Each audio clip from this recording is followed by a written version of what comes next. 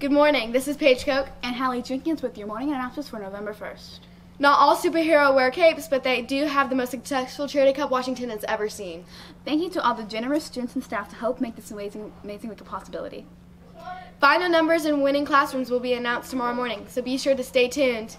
Picture retake day is tomorrow. We're also taking group shots, so if you're in a group having a picture made, make sure you speak to the teacher about what you should wear as a group.